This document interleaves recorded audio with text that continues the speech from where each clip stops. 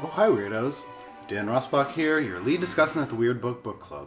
I was just going over some of the latest submissions here for the WBBC advice column, and I found a letter that's come all the way from Sweden. Exciting, right? Let's see what they have to say. Dear Dan, I am a member of the selection committee for a very prestigious literary prize, and I found myself in quite a dilemma. While there are over a hundred living authors whose work might be said to merit this honor, never mind the international media attention and million dollar cash prize that comes along with it, many of my colleagues have singled out an individual who seems a problematic choice to say the least. The author, let's call him Pedro Manoyave, has a history of publicly downplaying certain genocides, using his privileged position as an artist and intellectual to produce propaganda on behalf of authoritarian regimes, and generally paying his respects to war criminals. Should I go along with my colleague's recommendation, or should I suggest we invest our precious prize in a writer who definitely won't use it to glorify evil? Sincerely, Stumped in Stockholm. Well, Stumped, I have to say that that actually sounds like a pretty clear cut choice. But just to be sure, let's use our time tested method for flawless decision making. Pick up the book you're reading, turn to a random page, and do whatever the first few sentences tell you. Here's the book we're reviewing today Belladonna by Daša Drndić, translated into English by Celia Hawksworth. Let's see what advice it has for us. Boop! Ooh, this is a good one, and quite pertinent to our topic. Here, the narrator is thinking about all of the artists and intellectuals who, after the end of World War II, tried to justify their collaboration with the Nazi regime. Andreas Ban does not even wish to think about writers, about painters and actors, about singers and filmmakers who stay and serve. But Otto Klemperer leaves, Bruno Walter leaves, Fritz Busch, Arnold Schoenberg, and Alexander von Zemlinsky leave. Toscanini refuses to conduct in Nazi Germany. Oskar Danon leaves to join the partisans. And when he mentions this to those acquaintances of his, they say, they were Jews or Serbs, they were saving their skins, as though those who stayed and served were not. Why does Furtwängler play for Hitler's birthday? Why does he play at Nazi rallies? Why does he shake Goebbels' hand after one of his concerts? Why is his recording of Bruckner's Seventh Symphony broadcast immediately after Hitler's death? Had the Nazis by any chance won the war, would Furtwängler have taken shelter in a more secure place? Would he have withdrawn his anti Semitic pronouncements? It is a dubious, rickety justification that would suggest anyone is indebted to these artistic giants, who are also human monsters, dwarfs. Well, there you have it. Why waste a single breath ennobling the legacy of a nationalist nutjob who's only going to use his platform to continue spewing rhetorical slime? Not worth publicly commending, and definitely not worth a fancy gold medal. Let his artistic works speak for themselves, and his political acts be condemned with every ounce of moral conviction that we possess. Well, that was a close one, although it really, really shouldn't have been. Oh, look, there's a postscript here. Please send your reply by October 9th. It's kind of important. Well, this letter is dated two months ago. Why did my secretary just put it on my desk today? I know, let's give them a call.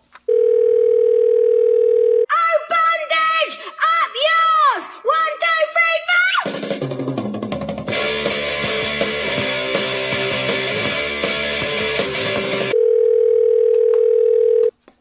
right, well, I suppose as the leader of the WBBC, I also bear some responsibility for this atrocity. No, no one ever needs to know. We'll just start over like like it never happened.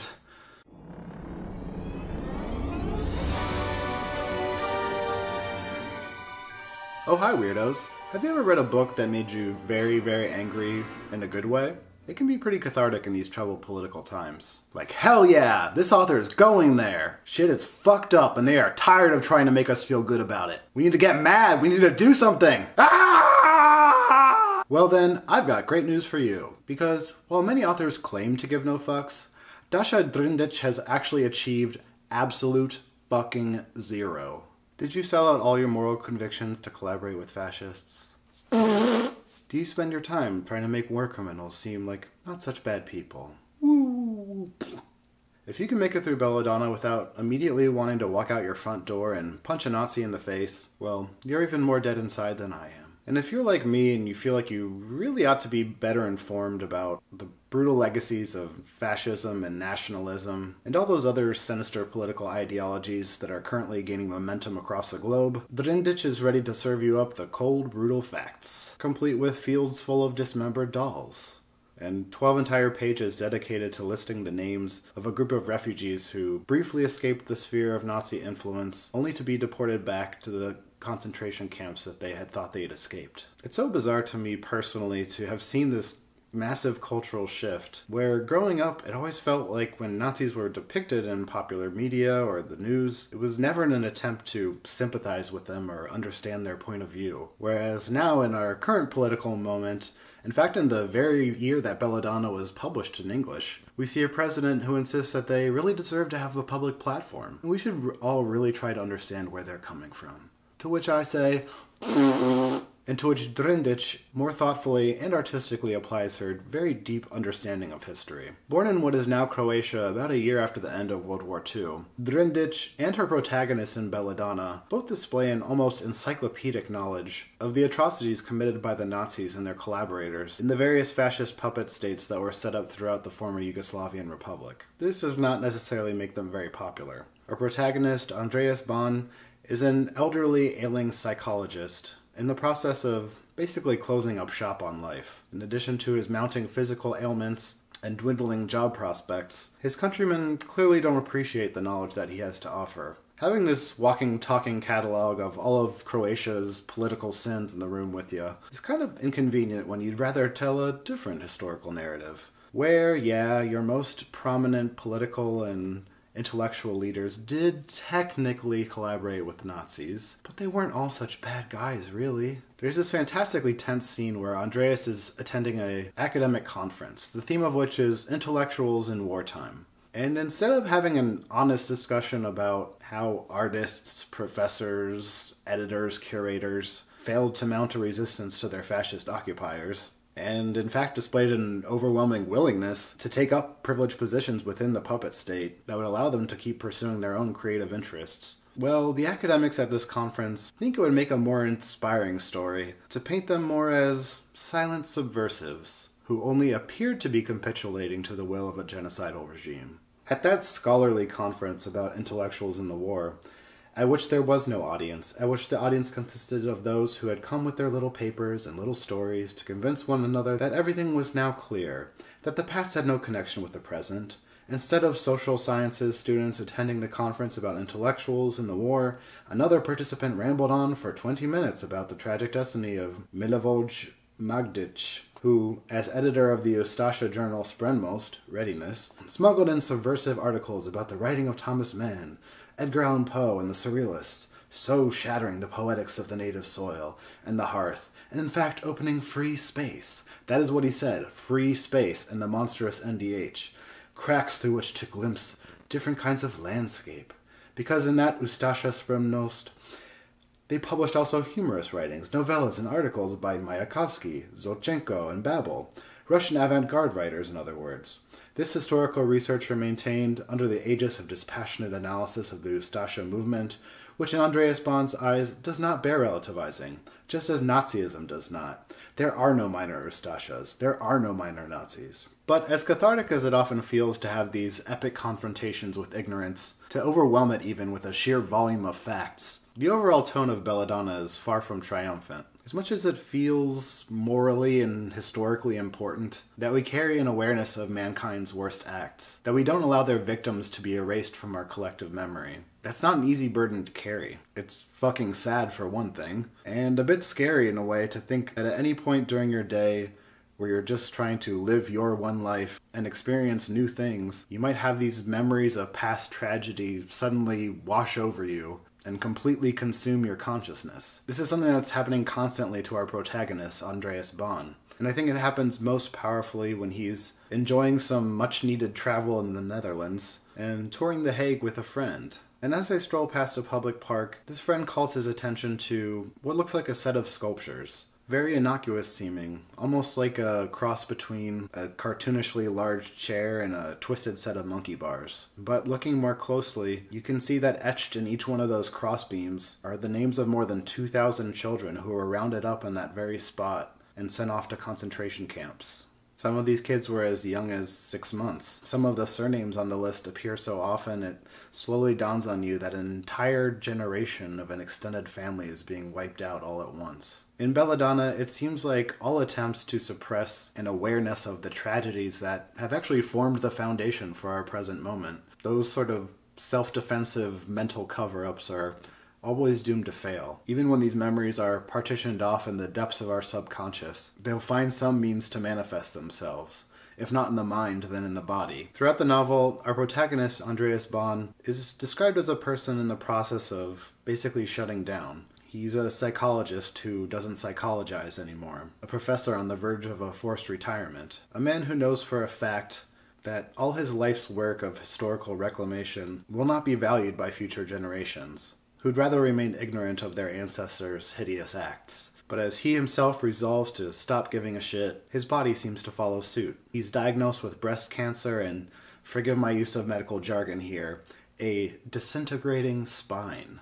And despite a plummeting quality of life, with no hope of complete recovery, this disease seems to reactivate in him a will to survive, to pursue treatment, and so to go on living and remembering. There are plenty of similar examples throughout the novel, where suppressed traumas resurface as bodily malfunctions. The psychological profile of one Croatian man, a successful anesthesiologist named Rudolf Sass, particularly stood out to me, partially because his seeking treatment was prompted by an inexplicably and chronically itchy butthole. And so, starting from that butthole, we trace his history back to his teenage years in Belgrade, his Jewish friends who were all rounded up and suddenly made to disappear, and his father who collaborated with the Nazi regime who murdered them. And finally, we see his failure to reckon with the full monstrous nature of what had happened, his failure to hold his family accountable just sitting in his gut. Drndić takes this concept of repressed trauma returning as physical malfunction even further by collaging in these odd little fragments of scientific studies and news reports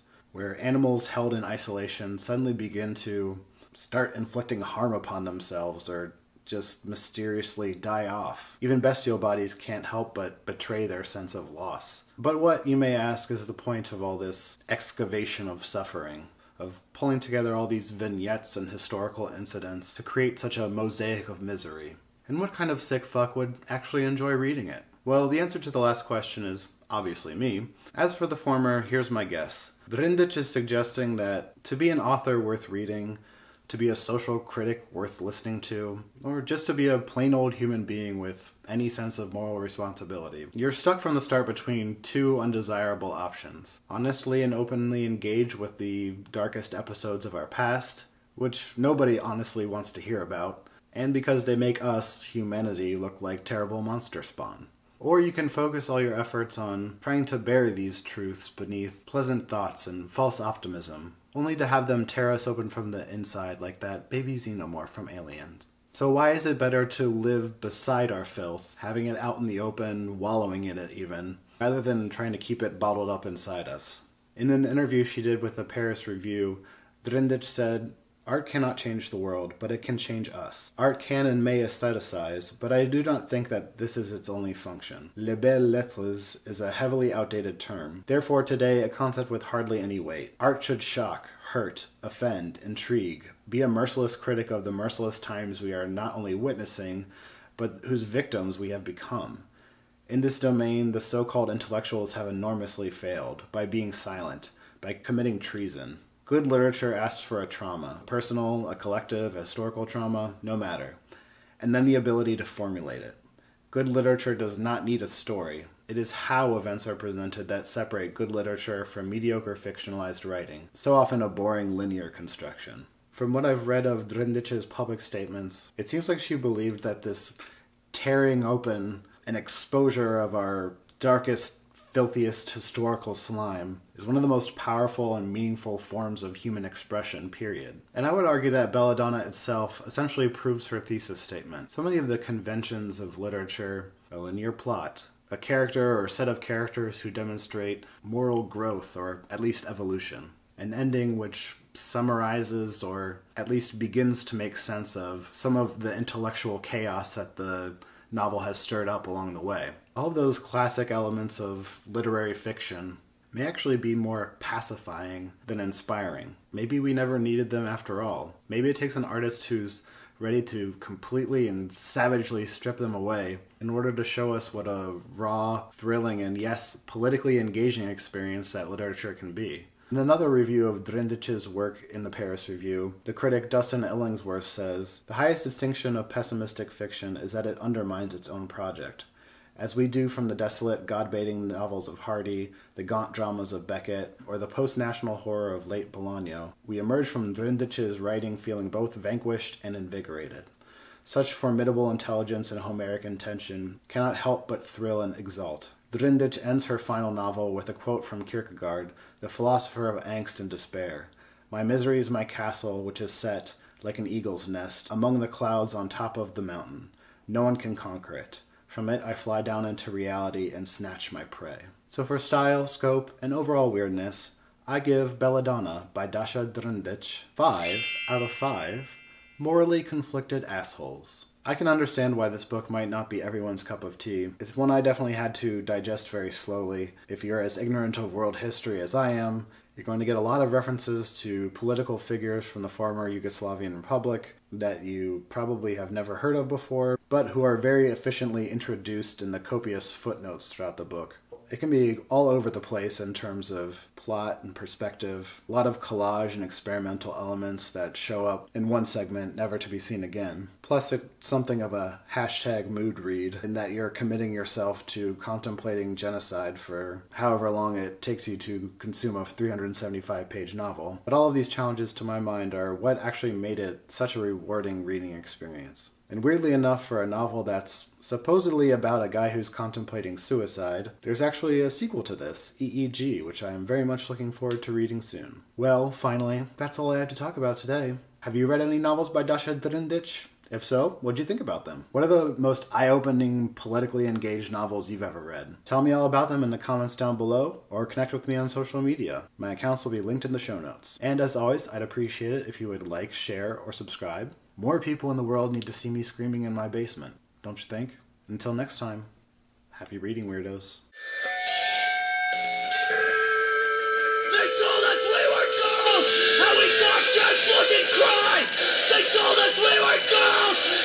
wanted their female